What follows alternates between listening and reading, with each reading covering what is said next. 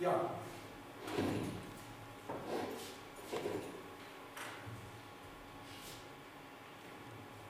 Erstmal gucken, ob die Technik funktioniert. Jawohl. Zum Einstieg, zum Einstieg meine These, anknüpfend an die bekannten Wortspiele eines der großen Stromerzeuger vorwegnehmen. Äh, bei diesem Vortrag soll es darum gehen, auf der einen Seite mh, aufzuzeigen, was, ich sage es jetzt ganz einfach, aus meiner Sicht für die Energiewende wichtig ist. Und zwar deswegen auch in der roten Farbe äh, aus meiner Sicht beginnt die Energiewende oder besteht die Energiewende nicht aus Windparks auf dem Meer, aus neuen Kohlekraftwerken und Hoch- und Höchstspannungsleitungen, jedenfalls nicht vorrangig, sondern sie beginnt im Verteilnetz auf der Ebene der einzelnen Haushalte. Zwei Dinge.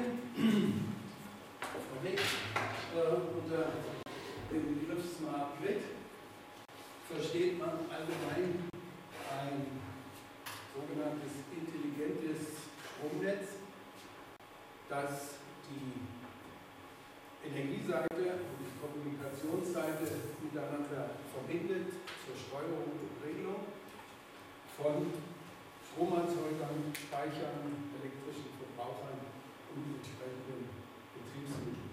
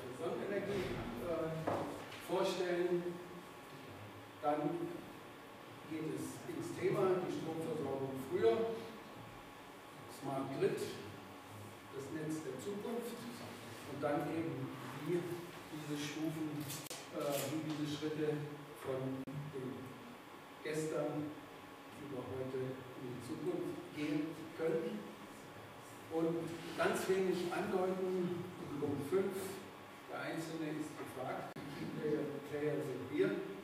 Äh, da möchte ich dann auf den anderen Vortrag, den Sie dort auch in Kurzform finden, kleine Energiewende verweisen, aber ein paar Worte werde ich dann dazu sagen, was jeder tun kann. Und am Schluss eine kurze Zusammenfassung. Ich möchte die Deutsche Gesellschaft für Sonnenenergie, Sektion Kassel, äh, kurz mit unserer Zeitschrift vorstellen, die Sie auch dann dort äh, finden. Das ist das neueste Heft. Äh, die Deutsche Gesellschaft für Sonnenenergie ist die älteste Vereinigung in Deutschland, also über 30 Jahre, die sich mit den erneuerbaren Energien befasst auf der einen Seite und der rationellen Seite. Unser Ziel, 100% erneuerbare Energien sind möglich, und zwar nicht erst 2050, sondern schon früher.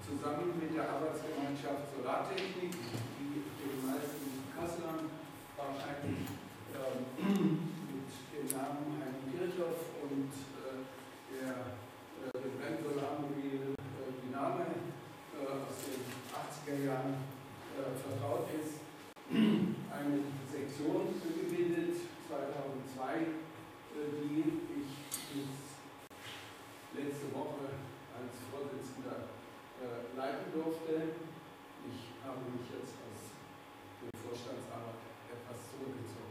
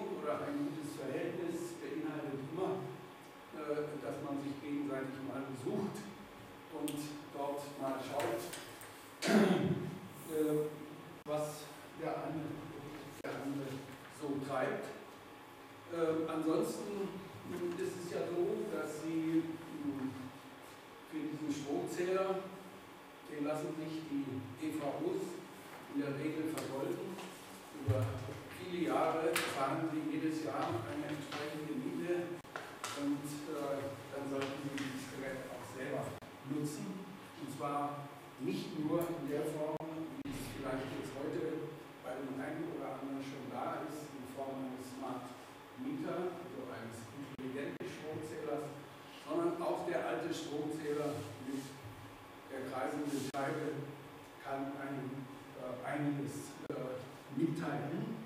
Und das Wichtigste, was er uns mitteilen kann, ist erstmal, dass wir über ihn erfahren, wie viel Strom, um das beim Strom zu bleiben, Gaszähler, Wasserzähler, ist das Gleiche, wie viel wir eigentlich verbrauchen.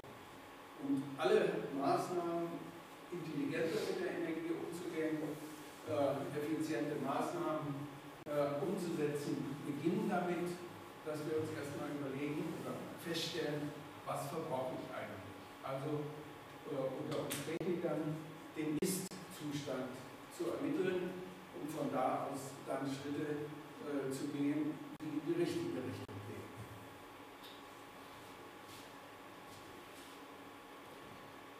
Ja, äh, fangen wir mit dem ersten äh, Thema, mit dem ersten Kapitel an. Früher kam der Strom direkt vom Kraftwerk bis äh, in die Steckdose.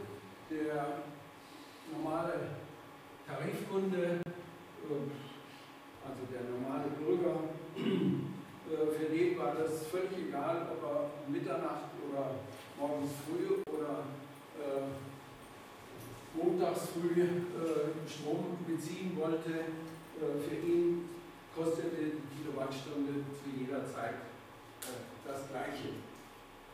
So etwa nach diesem Motto äh, der früheren EAM, äh, Strom kommt sowieso ins Haus, nutzt das aus. Das war ein schöner Stempel auf Briefsachen und äh, sollte dazu dienen, äh, den Strom als eine äh, Ware zu äh, deklarieren, die einerseits äh, preiswert ist, auf der anderen Seite ein große, eine große Hilfe. So, jetzt gehe ich nochmal zurück. In der Zukunft wird es etwas anders sein, weil wir eben nicht mehr diese Einbahnstraße haben, sondern weil es darum geht, dass äh, das Stromangebot und damit letztendlich auch der Preis für die Kilowattstunde zu unterschiedlichen Zeiten äh, unterschiedlich äh, sein wird. Und der normale äh, Tarifkunde, also der Gewerbekunde und äh, Industrie, die haben auch früher schon sozusagen mitgedacht, wenn nämlich sehr viel Strom äh, benötigt wird, also zu sogenannten Spitzenzeiten, dann äh, gab es da durchaus äh, Maßnahmen, um dem gegenzusteuern. Aber der normale Tarifkunde ist über Jahrzehnte verwöhnt worden, zu sagen, es ist völlig egal, wann du Strom haben willst, es ist immer da und äh, kostet immer das Gleiche. Wie gesagt, in Zukunft umlernen müssen oder dürfen, sonst wird es natürlich teurer. Und zwar umlernen in der Richtung, wie Professor Hauser das vor einem Jahr sehr gut und treffend dargestellt hat, von der generell verbrauchsabhängigen Erzeugung, nämlich immer dann, wenn ich eine Lampe einschalte oder einen Wasserkocher in Gang setze, müsste im Kraftwerk gleichzeitig diese, äh, diese Strommenge erzeugt werden. Jetzt ist es anders. In Zukunft geht es darum, den Verbrauch teilweise äh, darauf abzustimmen, was gerade und wie viel gerade erzeugt wird also von der generell verbrauchsabhängigen Erzeugung zum teilweise erzeugungsabhängigen Verbrauch. Ich finde das eine professoral äh, hervorragende Formulierung dessen, was oben in dem Sprichwort jedes zu seiner Zeit äh, ausgedrückt wird. Aber so kann man das natürlich auch äh, aussagen. Ja, das Verteilnetz früher war eine Einbahnstraße vom Kraftwerk über die verschiedenen Ebenen, äh, Höchstspannung, Hochspannung, Mittelspannung, Widerspannung bis ins Verteilnetz auf der Haushaltsebene. Das Netz der Zukunft äh, wird ein bisschen anders aussehen und dann gibt es jetzt hier äh, zunächst einmal diesen äh, ja, Kunstbegriff Prosumer, also die Zusammenfügung des Produzenten und des Konsumenten, äh, sprich äh, ich erzeuge auf meinem eigenen Hausdach mit Photovoltaik oder einer Kleinwindanlage oder äh, mit einem PHKW im Keller Strom. Ich verbrauche den im eigenen äh, Haushalt. Und äh, ich habe zu bestimmten Zeiten einen gewissen Überschuss, habe zu gewissen Zeiten äh, weniger als ich brauche. Äh, das Netz, das Verteilnetz vor Ort hat die Aufgabe, die Erzeuger, Verbraucher äh, miteinander zu verbinden, und zwar äh, intelligent zu verbinden, deswegen der Begriff Smart Grid. Und hier ist eben die äh, Kombination von der Kommunikation, also dem IT-System und äh, dem Energiesystem in Zukunft gefragt. Von der Einbahnstraße zum Marktplatz. Ich habe äh, äh, finde den äh, Begriff äh, recht gut. Äh, mir fehlt nur noch ein schönes Bild so eines Markttreibens, wo alles durcheinander wuselt. Ähm, was dann sehr deutlich zeigt, äh, hier ist nicht irgendwo äh, der Beginn und da das Ende, sondern da wird was verkauft, dort wird was gekauft, dort wird was genutzt, dort geht einer nur äh, über den Marktplatz drüber, also da wird was durchgeleitet und so weiter. Also das Verteilnetz der heute und in Zukunft, oder heute ist es auf dem Weg, aber in Zukunft wird es in diese Richtung des Marktplatzes weiter ausgebaut werden müssen. Nun, wie könnte man sich diese Schritte von der Einbahnstraße zum Marktplatz vorstellen? Ich habe das mal versucht in fünf Stufen oder fünf Schritten äh, ja, etwas herauszubringen kristallisieren. Äh, die erste Stufe ist der Eigenverbrauch ohne Einspeisung. Das heißt, ich habe eine kleine Anlage, die erzeugt mir, äh, weiß ich, einige äh, ja, leistungsmäßig einige hundert Watt und äh, den Strom, den verbrauche ich im eigenen Haushalt, so dass also meine Grundlast etwas äh, gemildert wird oder verringert wird. Und jetzt kommt dann praktisch wieder der Zähler äh, ins Gespräch. Der Zähler, wenn er noch diese alte Scheibe hat, läuft dann langsamer. Ja? Das ist da daran dann letztendlich zu erkennen. Zweite Stufe, Eigenverbrauch mit Einspeisung, also Einspeisung auch in das äh, Verteilnetz, äh, um die Nachbarn mit zu versorgen oder ein Teil jedenfalls. Die nächste Stufe der regelbare Ortsnetztransformator, äh, Ortsnetzstation mit regelbarem Transformator und Speichermöglichkeiten. Und äh, die fünfte Stufe dann die Verbindung zum übergeordneten äh, 20 kV. Jetzt. Gut, die erste Stufe. Da gibt es jetzt äh, ein paar ähm, neue Begriffe, die sozusagen seit Beginn dieses Jahres äh, virulent sind.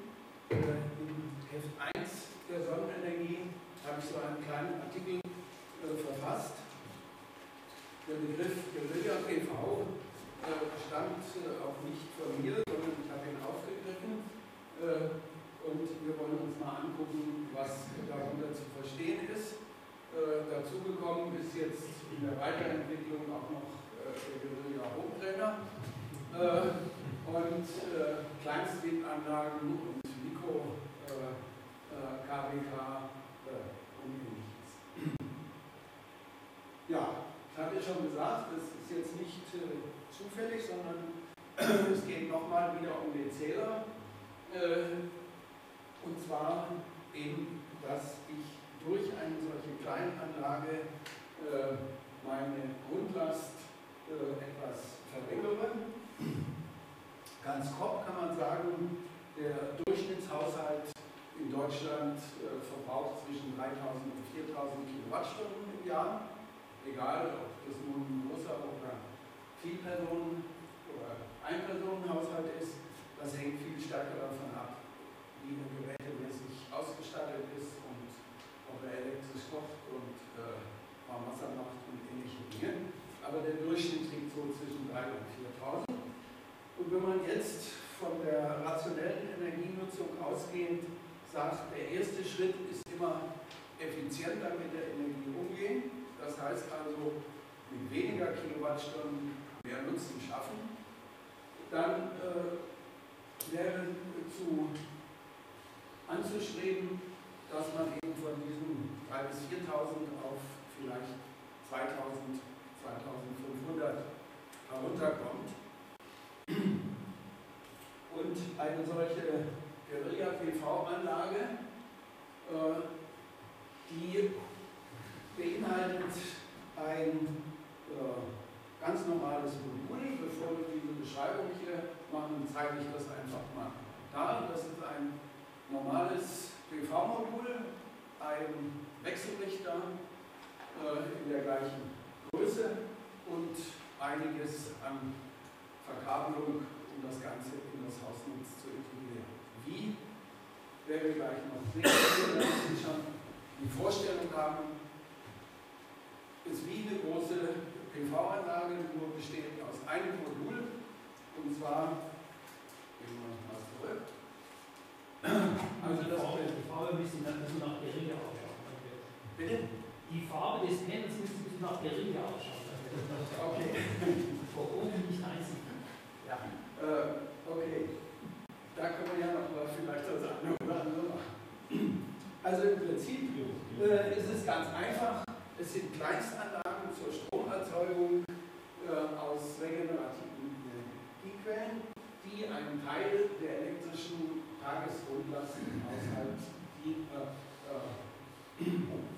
abdecken, wobei Tagesgrundlast, also Grundlast, äh, besser ist. Wenn es natürlich eine Photovoltaik ist, dann ist es äh, Tagesgrundlast. Dies können also kleine Photovoltaikanlagen sein, kleine Windkraftanlagen, mechanische Stromerzeuger, also so ein Stromtrenner. Das ist übrigens keine Empfehlung von mir, sondern werde Ihnen nachher sagen, äh, den gibt es schon seit äh, 1994. Der ist von Johann Mayer erfunden worden. Die Größe der Anlage sind so 100 bis 250 Watt, also ein äh, modernes äh, Modul, äh, PV-Modul hat 245 Watt, 1 Meter mal 1,70 Meter so ganz top und äh, leistet eben, wie gesagt, äh, ein Viertel kW. Und wenn Sie das äh, mit dem durchschnittlichen Ertrag von 1 kW äh, nämlich 800 bis 1000 Kilowattstunden pro Jahr äh, sich äh, äh, durchrechnen, dann kommen Sie auf ungefähr 200 äh, bis 250 Kilowattstunden äh, im Jahr und bezogen auf die 2000 bzw. 2500 Kilowattstunden im Jahr Haushalts wären das Pi mal etwa 10 Prozent. Die Kosten für so etwas, also die Beschreibung der Anlage, finden Sie in diesem Blatt, äh, was ich doch nochmal extra kopiert habe, in der Kurzform. Ähm, und dann gibt es auch Beschreibung äh, oder einen modifizierten Artikel, wo der Stecker ausgefallen ist und da in Deutschland diese Anschlussbedingungen sind, dass das fest ja, also die Kosten liegen so zwischen 600 und 700 Euro. Das heißt, es ist etwas, was überschaubar ist und doch eine ganz andere Größenordnung, als wenn ich eben eine Dachanlage mit äh, einigen kW Photovoltaik äh, äh, installieren lasse. Und äh, bei den heutigen Strompreisen äh, können Sie davon ausgehen, dass äh, Sie ungefähr in zehn Jahren dieses amortisiert haben. Das ist für einen Bereich der Energiewirtschaft, wo man eben nicht in zwei, drei Jahren ähm, Amortisationszeit berechnet wie in der gewerblichen Wirtschaft, sondern mit 10 oder 15 oder sogar 20 Jahren äh, sind diese 10 Jahre äh, durchaus äh, ein akzeptabler Zeitraum und äh, ich glaube, wir können davon ausgehen, dass die normalen Strompreise noch einiges steigen werden und dann ist die Amortisation schon äh, früher. Wichtig ist hier äh, der Schluss, äh, der Anschluss erfolgt fest verbunden ans Hausnetz. Und äh, wer so eine Anlage haben will, äh, geht zu seinem PV-Installateur, zu seinem Elektroinstallateur, der eben auch äh, große Anlagen baut oder gebaut hat. Und der soll ihm ein Angebot machen und er muss die Anlage dann auch anschließen. Gehen wir nochmal zurück zu dem äh, Sicherheitsaspekt.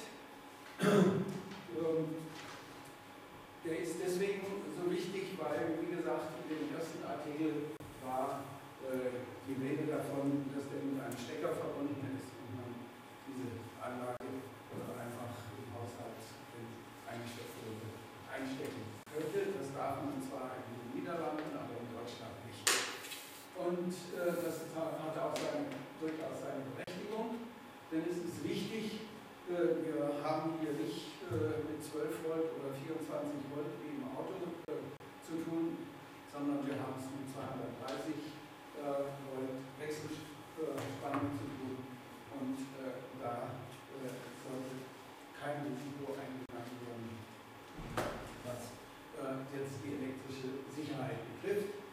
Sie finden in dem Artikel in der Sonnenenergie auf Seite 34, also kurz nach meinem Aufsatz, dann einen Artikel von dem Kollegen Ralf Haselhuhn, wo er also die ganzen äh, Normen und technischen Bedingungen äh, auflistet, äh, die für die elektrische Sicherheit äh, wichtig sind. Ja, also hier auf diesen Punkt werden wir gleich auch noch eingehen. Sicherheit hat zwei Aspekte. Das eine eben eine Gefährdung Nutzers und das zweite ist, es soll natürlich auch durch nicht durch eine unsachgemäße äh, Handhabung äh, des Ganzen äh, das elektrische Netz äh, gestört werden, so dass äh, also da vom Netz her ähm, Unterbrechungen oder Schäden auftreten kann.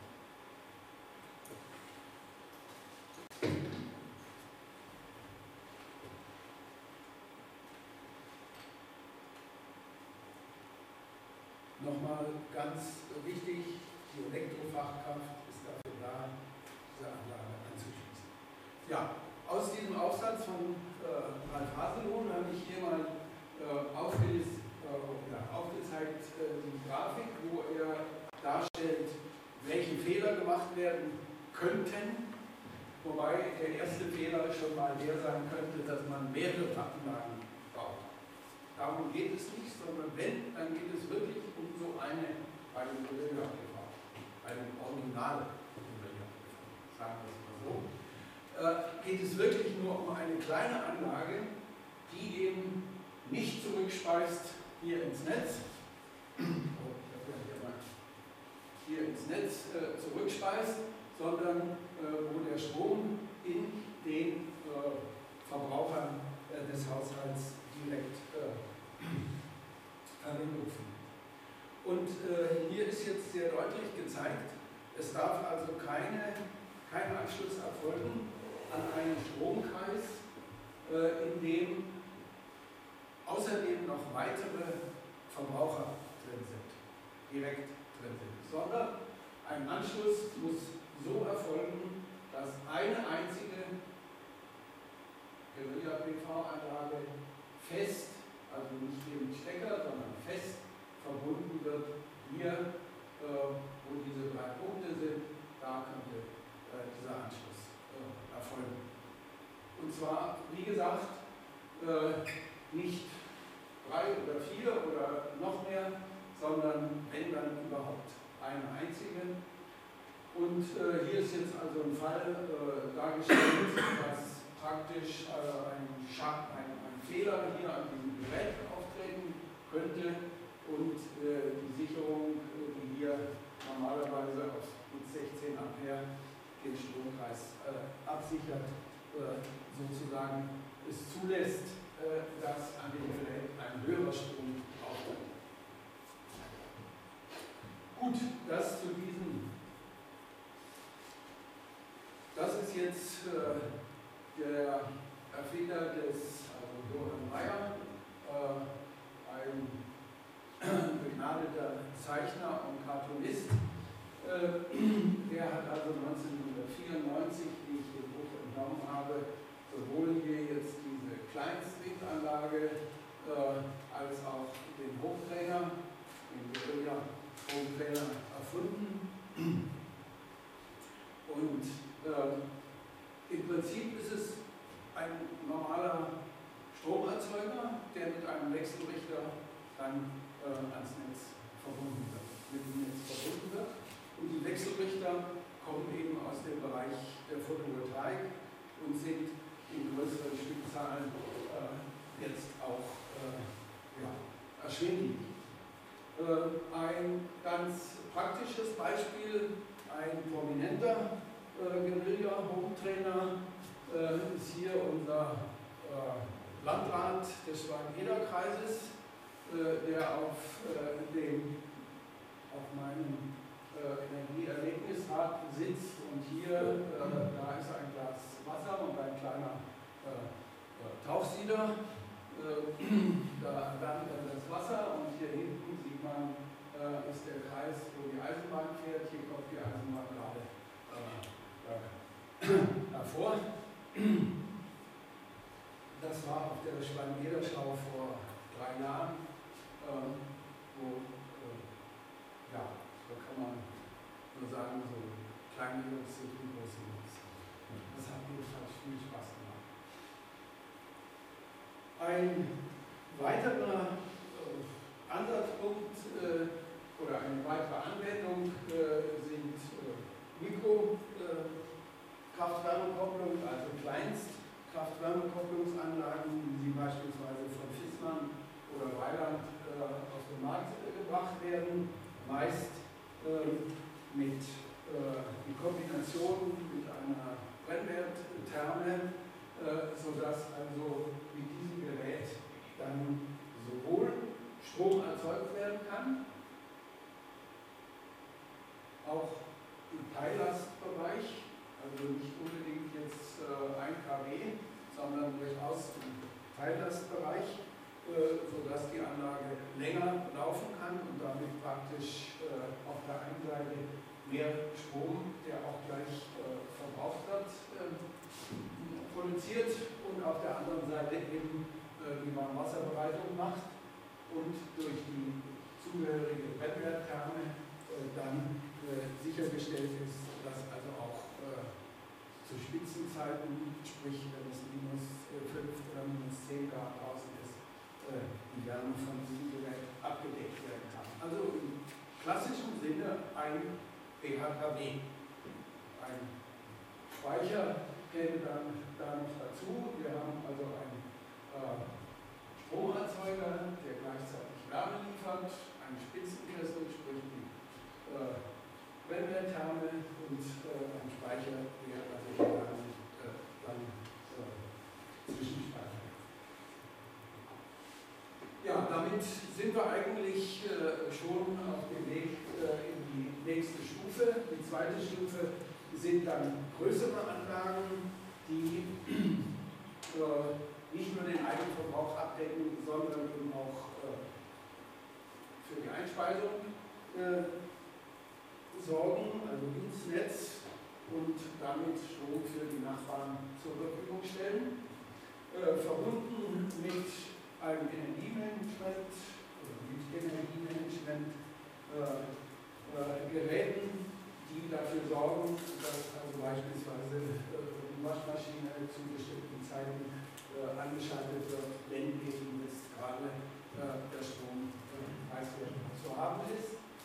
Ähm, wo Energie gespeichert wird, und wir werden uns das jetzt gleich nochmal ansehen. Das war das, was ich vorhin äh, angedeutet habe. Also eine 1 kW PV-Anlage liefert im Jahr Größenordnung 800 bis 1000 Kilowattstunden. Bei uns hier in dieser Gegend die letzten Jahre waren äh, das vorvorige Jahr waren bei meiner Anlage beispielsweise äh, spezifische Werte von äh, 1000 äh, Kilowattstunden. Im letzten Jahr waren es nur äh, 900, 920 oder so etwas. Und äh, in diesem Jahr äh, ist im Augenblick jedenfalls noch ziemlich mager. Ja, wenn man nun ein Dach zur Verfügung hat, in dieser Größenordnung hier von 20 bis 40 Quadratmeter. Hm, also man kann ganz grob sagen, pro KW 8 bis 10 Quadratmeter verschattungsfreie Dachfläche. Wenn man also dann eine Anlage in der Größenordnung von 1 bis 5 äh, äh, installiert, äh, mit entsprechendem Speicher und und und, dann kann man also im Jahr abernten so von 1000 bis 5000 Kilowattstunden, je, nach Größe der Anlage. Und die heutige Vergütung, das wechselt ja von, von Monat zu Monat, liegt jedenfalls unter 20 Cent pro Kilowattstunde und der Haushaltsstrom, den Sie bezahlen, der liegt knapp bei 30 Cent je nachdem, was Sie für einen Versorger haben. Ja, wie funktioniert das Ganze?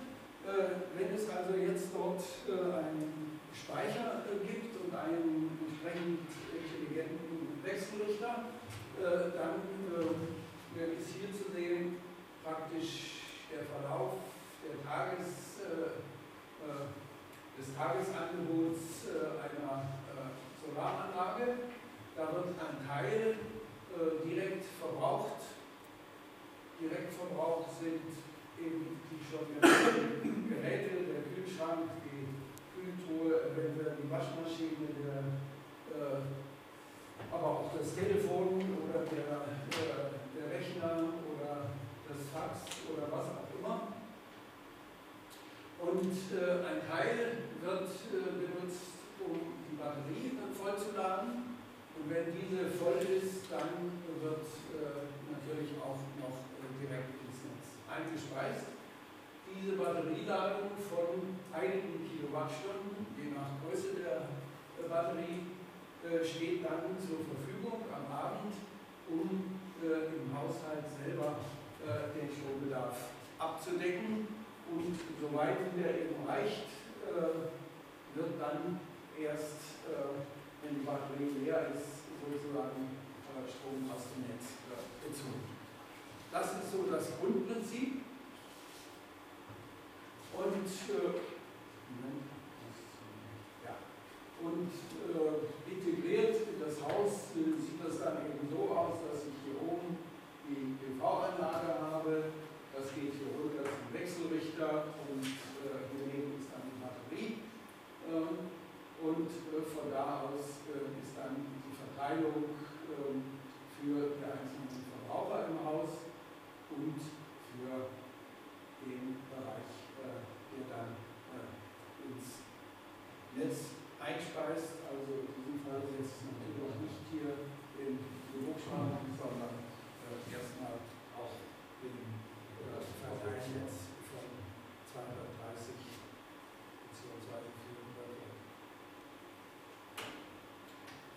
Die dritte Stufe. Ist gekennzeichnet durch einen regelbaren Ortsnetztransformator. Ähm, und dazu will ich gleich erstmal ein paar Dinge vorweg äh, sagen für die Nicht-Elektriker oder für Nicht-Techniker. Äh, Energie fließt grundsätzlich immer nur von einem höheren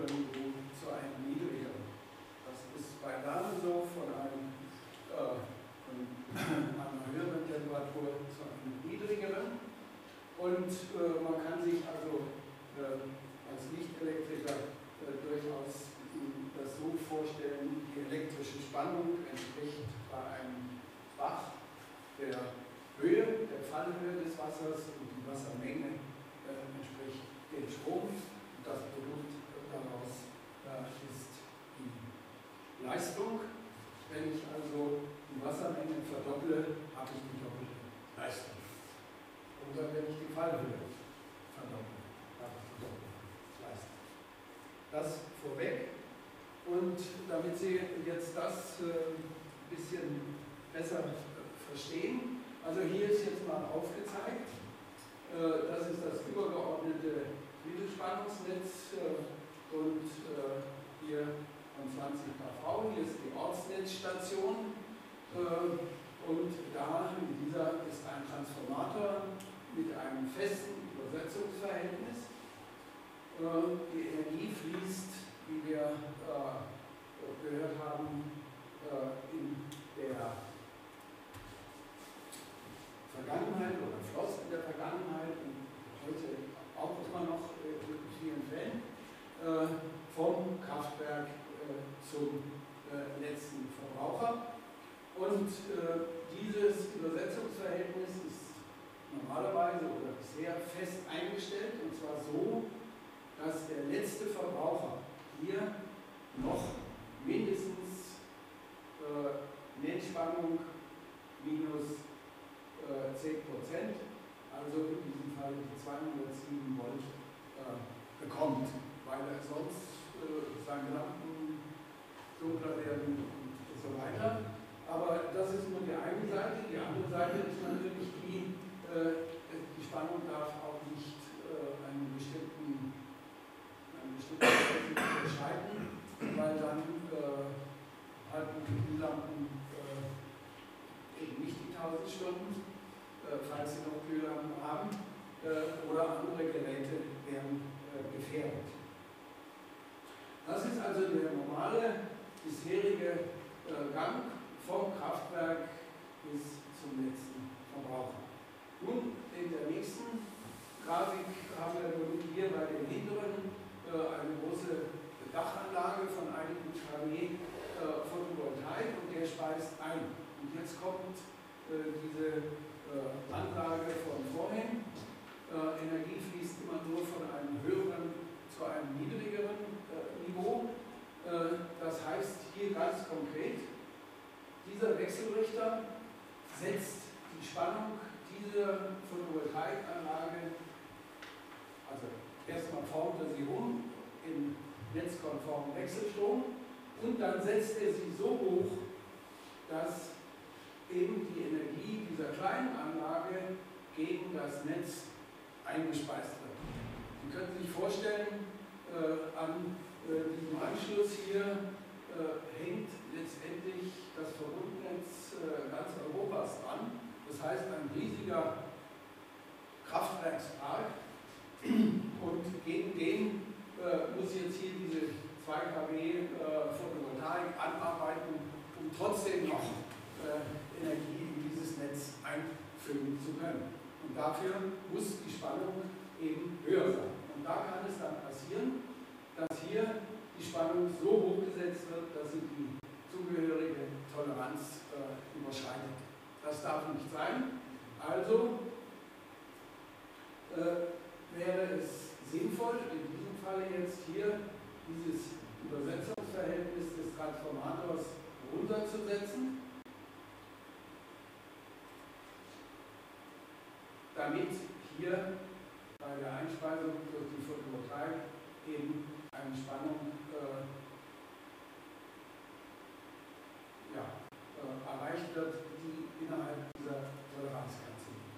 Das ist der Sinn dieses Ganzen. Und äh, wir haben äh, ein ganz konkretes Beispiel in der äh, Ortsnetzstation in Niedervorschütz, einem Ortsteil von Felsberg, ist im vergangenen Jahr ein, solche, ein solcher regelbarer Transformator, Ausgangstransformator eingebaut worden, der automatisch, wir hatten einen sehr schönen wechselnden, äh, wechselnden wolkigen Tag, dann kam mal eine Wolke vor die Sonne, dann äh, musste er schnell wieder äh, hochfahren und dann kam die pralle Sonne und äh, die Anlagen haben voll eingespeist, dann muss der runtergehen. Das äh, Entscheidende bei dem Ganzen ist sicher, dass äh, diese Aufwärtstransformatoren, äh, die jetzt automatisch äh, sich auf diese Einspeisung ähm, einregeln, dass die natürlich um einiges teurer sind. Aber Sie können sich vorstellen, ähm, Kosten für neue Leitungen legen, sind auch nicht billig. Und äh, die Prognose äh, von, in diesem Fall Eon Mitte, äh, ist die, oder war die, äh, dass ohne dass hier diese Leitungen jetzt verstärkt würden, ähm, mit einem solchen regelbaren Ausschnittstransformator das zwei- bis dreifache an Photovoltaik äh, eingespeist werden kann als ohne. Und das ist ja durchaus äh, kein Pappenstiel. Also die äh, Einsparung, ich gehe mal davon aus, dass diese äh, Transformatoren, wenn sie äh, in vielen Stationen eingebaut werden, dann letztendlich doch zu Großserienpreisen äh, um einiges äh, preiswerter noch werden. Ähm, ich hoffe, dass äh, damit äh, mal so klar geworden ist, warum dieser regelbare Ortsnetztransformator so eine wichtige Rolle spielt. Ja, die vierte Stufe ist jetzt die Kombination dieser äh, des bisherigen mit äh, Speichermöglichkeiten. Speichermöglichkeiten gibt es viele von der ganz normalen äh, Batterie. Das wäre also hier dieser Bereich, äh, Batterien, die für einige hundert bis tausend Kilowattstunden und für Stunden sinnvoll sind, äh, bis hin äh, eben hier zu der Verbindung äh, des Strom mit dem Gasnetz und das wollen wir uns jetzt äh, gleich nochmal ein bisschen genauer angucken. Die Verbindung, äh, der Begriff äh, Power to Gas hm, meint nichts anderes, als dass hier überschüssiger Strom per Elektrolyse in Wasserstoff und Sauerstoff aufgespalten wird und der Wasserstoff kann entweder direkt dem Erdgasnetz zugesetzt werden, jedenfalls in einer äh, geringen Menge oder einem bestimmten Prozentsatz.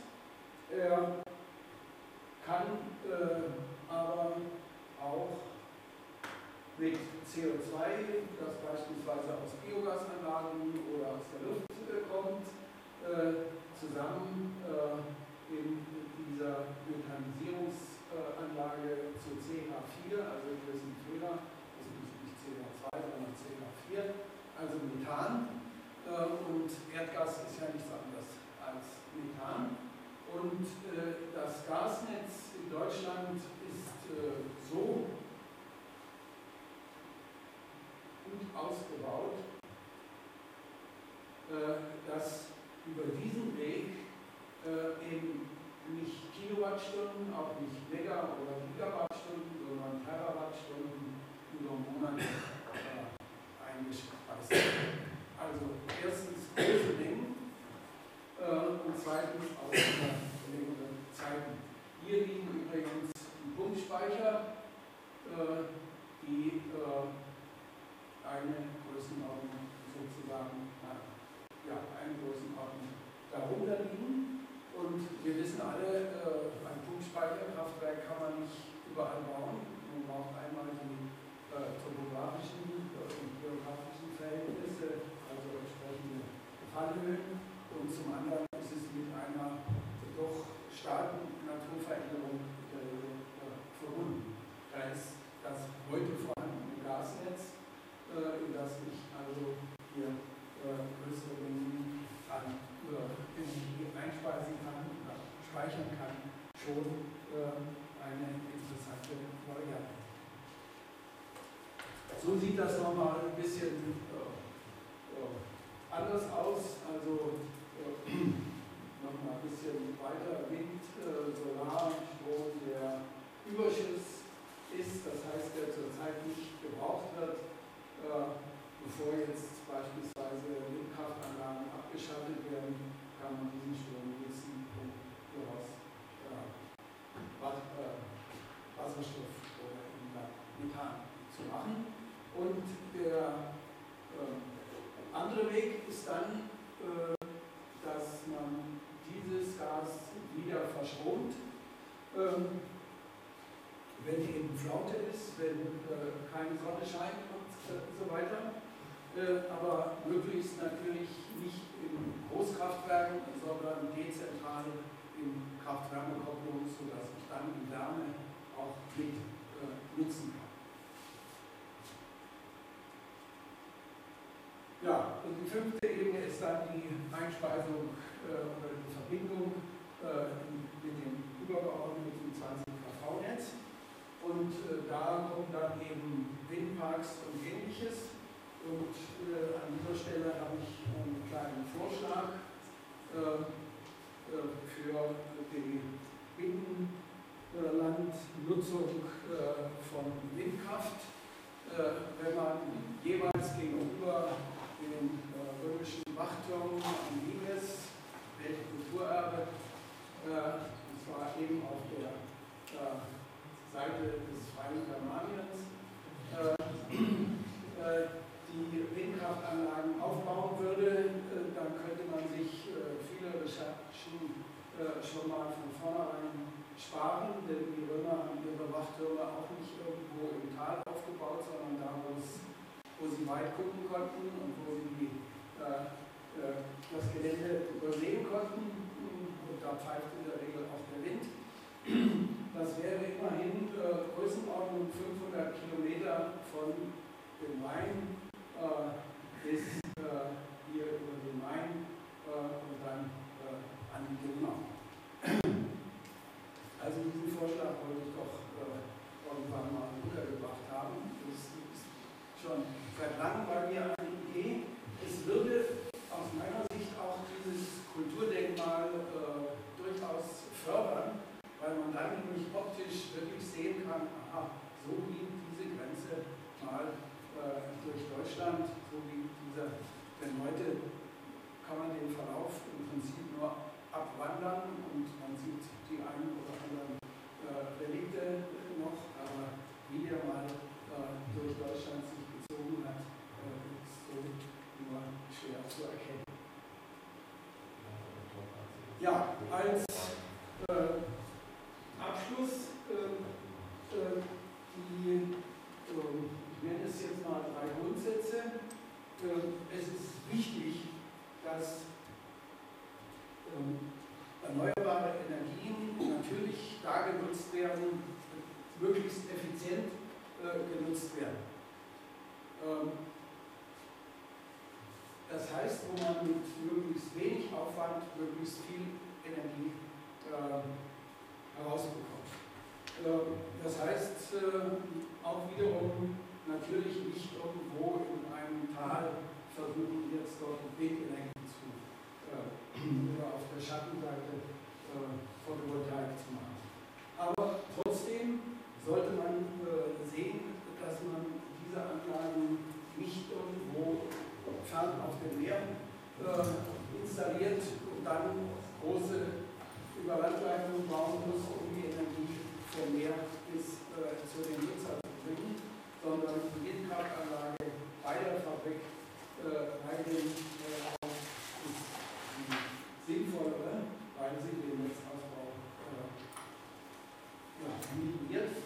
Der zweite äh, Grundsatz ist, der Netzausbau sollte der erneuerbaren Energieausbau folgen und nicht umgekehrt, weil umgekehrt wäre, äh, dann äh, würde das dazu führen, oder dann führt das dazu, äh, dass die erneuerbaren Energien gedeckelt werden und eben nur so viel ausgebaut werden kann, äh, wie der Netzausbau gerade hergibt.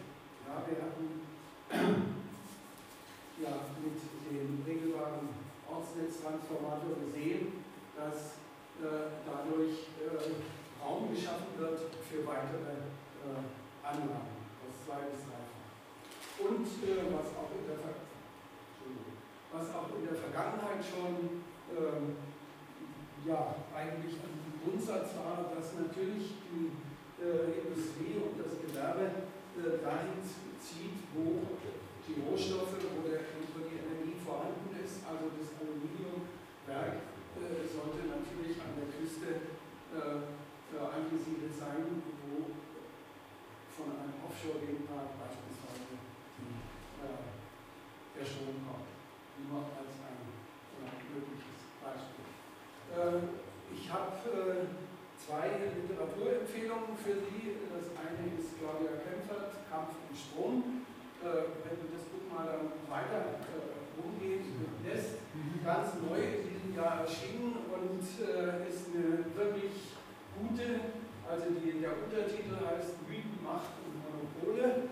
Und ich habe mal so ganz äh, in Anlehnung an den Limes äh, mal das hier so kurz abgedeckt. Äh, dann kann man so Wortspiele damit machen. Und der Klassiker äh, ist natürlich der energieethische Imperativ von äh, Hermann Scher, äh, der ja quasi der Vordenker der dezentralen Energieversorgung äh, ist. Auch dieses Buch können Sie gerne. Gut, zum Abschluss, was kann der Einzelne tun? Veränderung gibt es nur wenn ich etwas ändere und dazu diese kleine äh, Anmerkung so zum Nachdenken. Äh, wenn ich aus den Regalen eines Geschäftes ein Produkt herausnehme, dann erzeugt das eine Leere. Und diese Leere, die wird wieder gefüllt. Und dadurch, dass ich etwas bestimmtes Produkt nehme und nicht ein anderes, bestimme ich, was sozusagen unter welchen Bedingungen nachgeliefert wird. Und äh, in Anlehnung an äh, aktuellen äh, ähm, ja, Lebensmittel, Nahrungsmittelskandal äh, habe ich im Rundfunk äh, von einem Experten äh, den, äh, die schöne Erläuterung gefunden, dass die Billigprodukte nicht deshalb billig oder deshalb billig sind, weil billige Rohstoffe verwendet werden und nicht, weil sie dann schlecht verpackt sind oder so. Also das äh, ist äh, so mal im Hintergrund zu haben. Hier nochmal die Zusammenfassung, was ich ganz zu Anfang gesagt habe. Äh, die Energiewende als äh, Brückenbau von dem einen Ufer auf das andere Ufer, äh, wobei von beiden Seiten gebaut wird. Die eine Seite ist äh, die effiziente Nutzung der Energie, also mehr Nutzen herauszuholen mit weniger Energie, Begriff Energiedienstleistung und auf der anderen Seite eben den noch notwendigen Bedarf an Energie durch erneuerbare Energien äh, zu decken. Und ganz konkret als Handlungsanweisung, lass dein, äh, dein Geld in der Region arbeiten und äh, geht es hier aus. Optimiere das Haus und den Haushalt, erneuerbare Energien nutzen und äh, ein ganz wesentlicher Punkt, äh, den Fleischkonsum äh, reduzieren, denn dieser Teil ist äh, nicht unwesentlich für die CO2-Belastung und für den Energiebedarf äh, äh, verantwortlich. Ähm, zu diesem letzten kann ich natürlich jetzt Vortrag nicht allzu viel sagen. Ich hatte, äh, ähm, wie gesagt, diesen Vortrag im vergangenen Jahr, deine Energiewende, und wenn Sie sich dieses Blatt äh, da mitnehmen, äh, dann haben Sie für diesen Bereich der Handlungsanweisung sozusagen, was kann ich denn tun, äh, einige ähm, Hinweise und einige Vorschläge, wo jeder selber aktiv wird. Ja, herzlichen Dank für Ihre Aufmerksamkeit und ich stehe gerne noch bereit, wenn die eine oder andere Frage ist.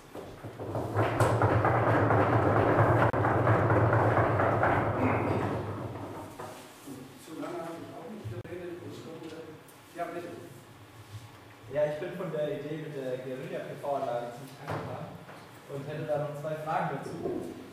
Ähm, ich habe zufälligerweise noch ein Panel bei mir zu Hause rumstehen ja. und ähm, was mir dann ja fehlen würde, logischerweise, wäre der Wechselrichter.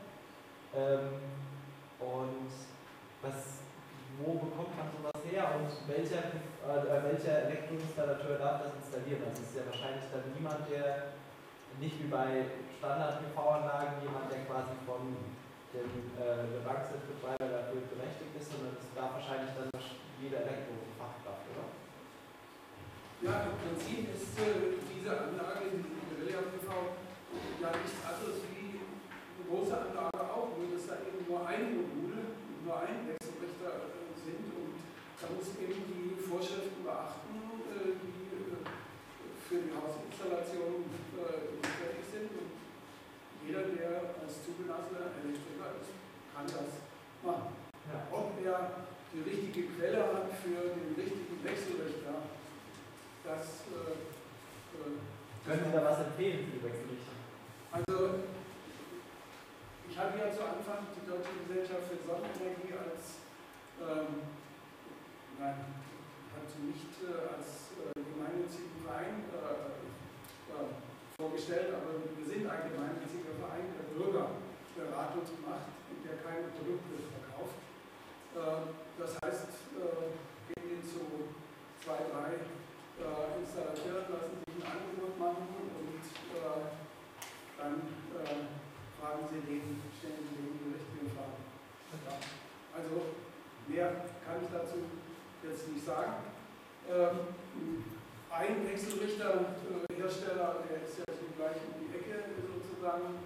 Ich gehe mal davon aus, dass er so etwas auch aber es gibt vielleicht auch andere und einen weiteren haben Sie ja da in der Zeitschrift, äh, ist da neben dem Aufsatz äh, so, ein, äh, so, eine äh, Reklame, also Werbeanzeige von einer Firma, die ich aber nicht, von der ich aber nichts bekommen habe. Also einfach mal anschreiben oder, oder äh, auf die Seite gehen und äh, nachgucken. Also es gibt äh, interessanterweise äh, schon vor äh, Veröffentlichung der ersten, äh, also dieses, dieses Artikels äh, im Januar, bekam ich eine Zuschrift äh, von jemandem, von einer Firma hier in Marburg. und die schrieben mir, unter anderem haben sie das auch in der Zeitung veröffentlicht, diese Idee hatten wir schon vor einem Jahr und vor zwei Tagen ist die Serienproduktion in Gang gekommen. Und zwar packen die dieses Set in einer Behindertenwerkstatt, lassen die das äh, packen und da kriegen sie sozusagen dieses Set äh, äh geliefert mit Montageanleitung und so weiter. Das heißt also Wagner Solar verkauft die? Also die Information lief über Wagner, aber das ist nochmal eine andere. Okay. Ja, gibt es weitere Fragen? Also ich kann Sie natürlich nur ermutigen, nehmen sich diesen, diesen äh, äh, dieses Merkblatt mit. Ich habe hier noch ein paar mehr, falls jemand noch äh, braucht. Äh, und äh, gehen Sie damit zu Ihrem Installateur und sagen, ich will so eine Anlage haben, was kostet die? Und äh, dann entscheiden Sie, ob Sie das machen oder nicht. Ja. Welche Größenordnung liegt der Preis? für den Installateur das jetzt anschließen? Ganz grob für den Naja, also diese 600 bis 700 Euro sollte eigentlich komplett sein.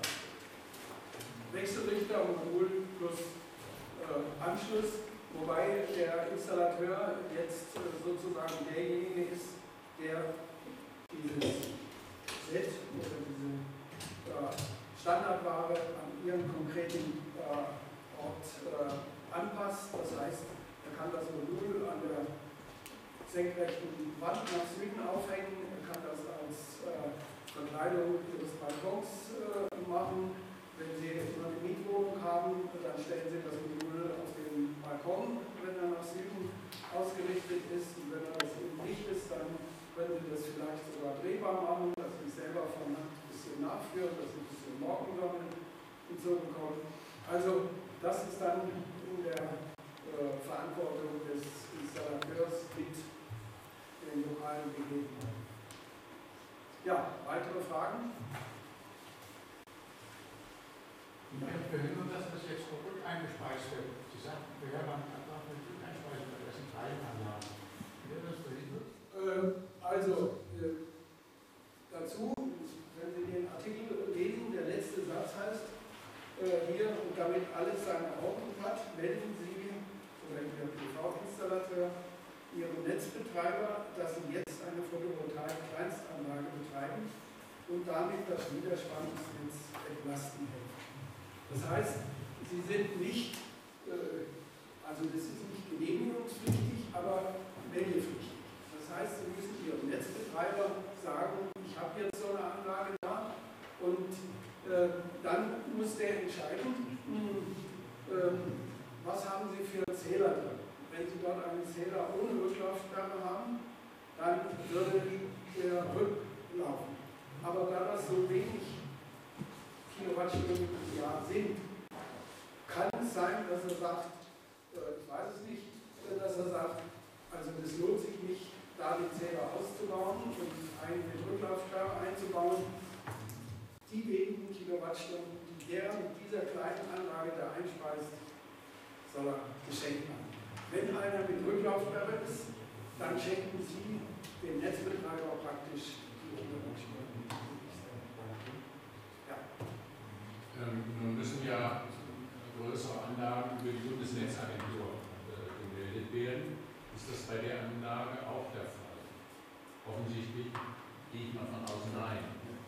Okay. Das ist nur für die Verfügungspflicht. Bitte? Das ist nur für die Verfügung notwendig.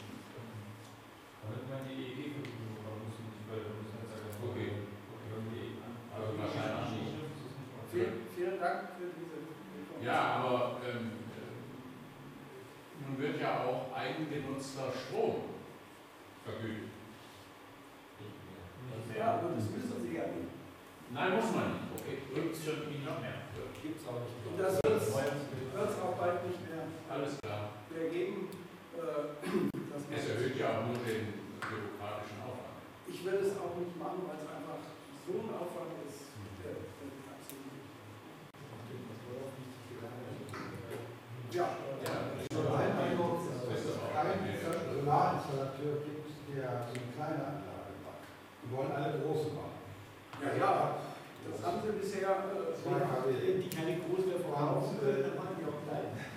wenn sie das, wenn sie noch Großanlagen bauen, die sich rentieren, äh, sollte das tun. Äh, aber äh, je niedriger die Einspeisevergütung ist, desto weniger lohnen sich große Anlagen. Und äh, das wäre eine mögliche äh, ja, sagen wir mal, ein mögliches Geschäftsmodell, zumindest für eine bestimmte Übergangszeit.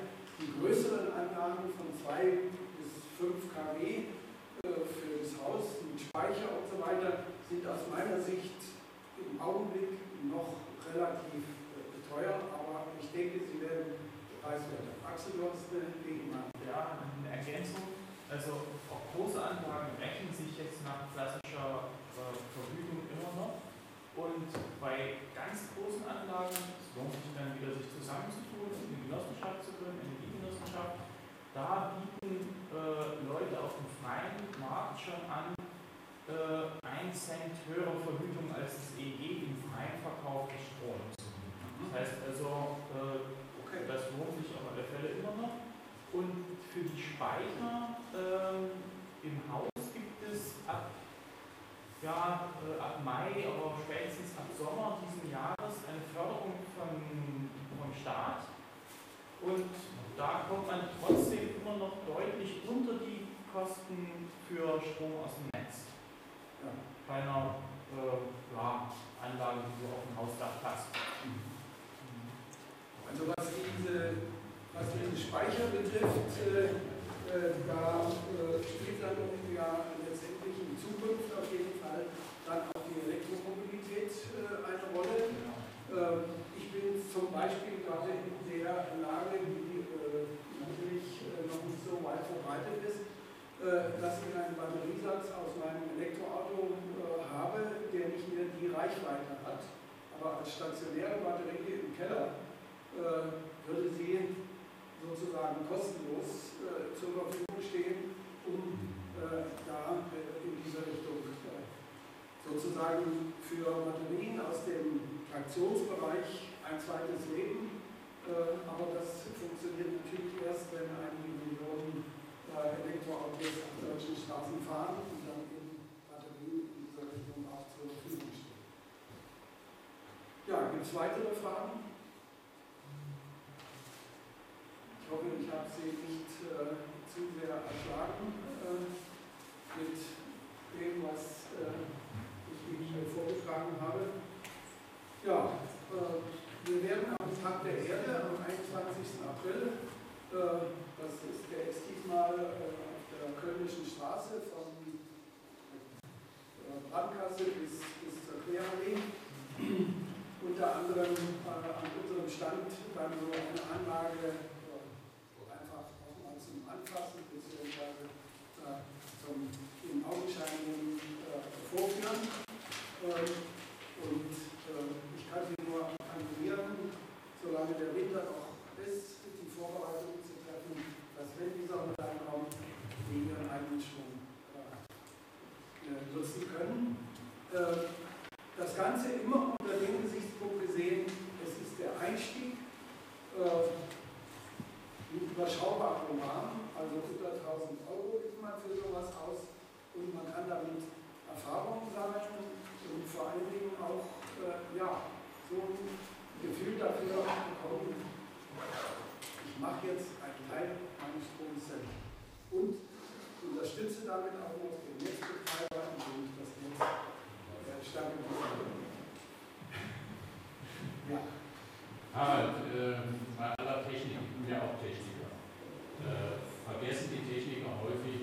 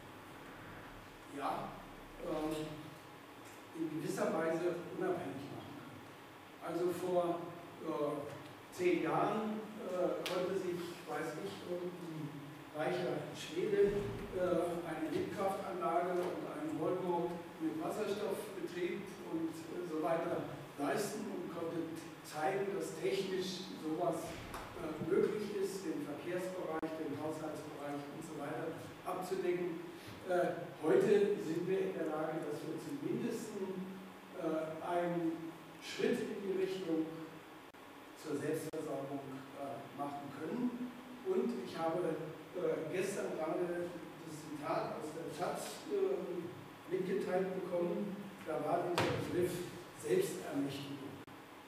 Äh, wir müssen uns trauen äh, und sagen, okay, ja, ich darf das machen und ich mache das. Und wenn äh, es nicht zusammen mit dem Netz, äh, also mit dem äh, äh, üblichen Verteilnetz ist, dann kann ich auch ein kleines separates Netz aufbauen. Und hier läuft ja gerade ein Workshop Power Electronics in the Electrical Network. Da geht es um die Erneuerbaren, Speicherung und Netzstabilität. Und morgen Vormittag ist da ein Vortrag Low Voltage äh, DC-Grids, also ähm, Niederspannung, Gleichstromnetze äh, und äh, genau, äh, Elektronik äh, für Mittelspannung, äh, Gleichstromnetze. Also äh, wir kennen alle das elektrische Netz in unserem Auto oder in dem, im LKW 12, 24 Volt. Auf dieser Ebene ist heute mit LED und ähnlichen eine ganze Menge machbar. Ohne dass ich irgendwie das öffentliche Netz berühre. Ja, also das wäre diese, dieser Appell, äh, schön, äh, dass du das nochmal so genannt hast, sich selbst zu ermächtigen. Ich habe, mir kam gerade in diesem Zusammenhang, äh, vor 80 Jahren äh, hat das deutsche Volk den Führer ermächtigt und sich damit selbst entmündigt. Äh, heute können wir uns selbst ermächtigen und unser Netz selber gestalten. Also damit möchte ich dann schließen und wünsche Ihnen einen guten Heimweg und viel Erfolg und ja, packen Sie es an.